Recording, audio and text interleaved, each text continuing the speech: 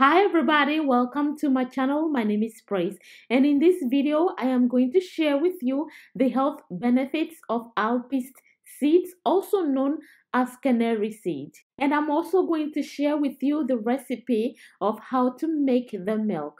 Alpiste seeds are actually a very popular among the uh, domesticated birds as a food source is now that we actually know that are also very beneficial for the human body too. So I'm going to show you how to make the milk and to make the milk you will need half a cup of alpiste seeds. You're going to have to soak this overnight or at least 12 hours. Now let's get into the benefits of alpiste or canary seeds. This seeds contains lipase, which is an enzyme that helps to purify harmful fats in the veins, arteries, or simply fats deposited in the body.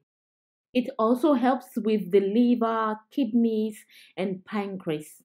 It has antibacterial properties and has antioxidants and is also high in fiber that can encourage your bowel movement and the feeling of feeling more deflated and light. So after soaking your seeds overnight or at least 12 hours, you're going to strain it and you can rinse it. And then we are going to pretty much go ahead and make our milk from this. If you have any plants, you can actually use the water that we soak our seed in to water the plants as well. We are going to add a liter of water to our seeds and then we are going to blend. Um, you can add the water gradually as you go along if you want to.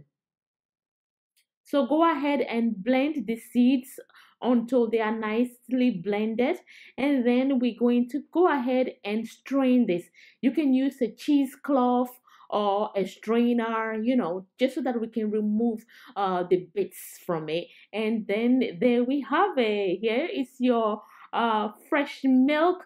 This milk is lactose free and gluten free. So there you go. You can also use these uh, bits, the bits, you can actually use it in your compost. Ideally, it is best to prepare the milk and then consume it on the same day so that you can consume the fresh nutrients. But let's say if you don't have time to be making it every day, then you can make enough so that you can store it in your fridge and then you can consume within two days.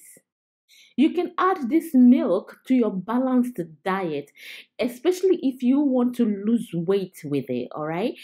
Thanks to its high fiber content, you will be feeling fuller and will avoid eating too much at mealtime. So just drink like a glass of it before you have your meals. You can use this to control your weight. It is high in plant protein, which can help to burn fat, lower cholesterol, and also provide muscle tone. So here we are. Um, it tastes quite pleasant to me.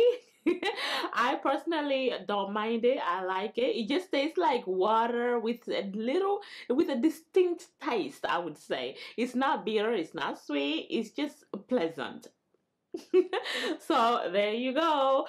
So there you have it. Thank you very much for watching this video. And don't forget to share it with all your loved ones if you enjoyed it or find it useful. And give it a like if you like it. Thanks for watching. Bye.